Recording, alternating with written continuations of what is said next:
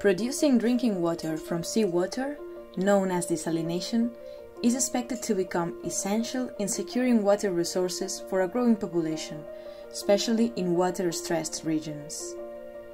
But for this to come true, we need to find solutions.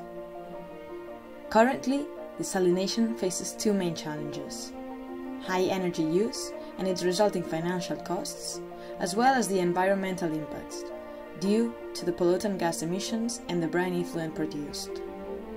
To address these challenges, water mining works with two large scale exhibition sites one in Lampedusa, Italy, and one in Almeria, Spain.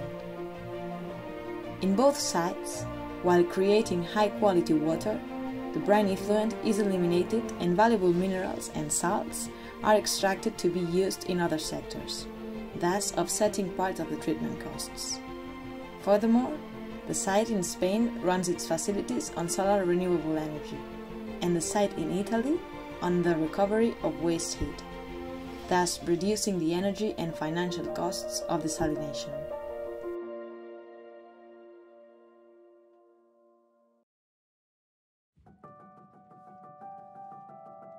In recent decades, a growing population, urban expansion, and higher living standards have increased urban water use.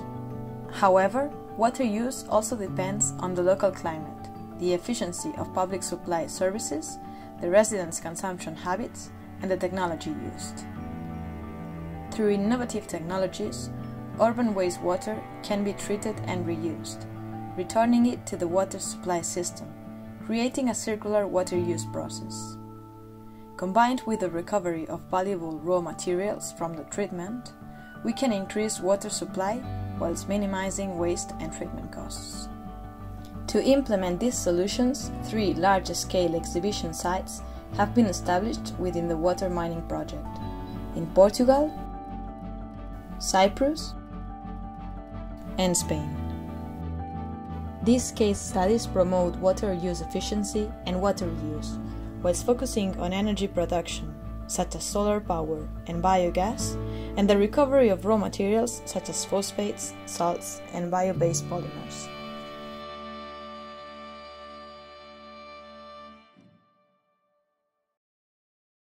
Of the total water use in the EU, only 10% is consumed in urban areas. The other 90% is used for industrial purposes. Given the prominence of industrial water use, the development of innovative technologies to reuse water from these sectors is key. Taking advantage of the low water quality needed by some industrial processes, water mining will test what is called zero liquid discharge process.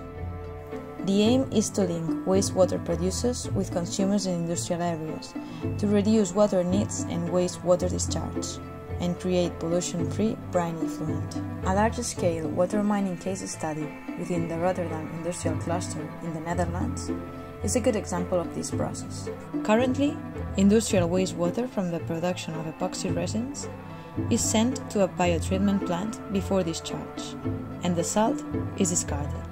However, Water mining will apply innovative technology to purify the wastewater from the epoxy resin industry, creating quality brine to be used by the chemical production company Nobian, thereby contributing recycled water and salt for the production of chlorine and caustic important base chemicals needed for epoxy resin production, thus closing the loop of industrial wastewater management and ensuring circularity in water and salt consumption.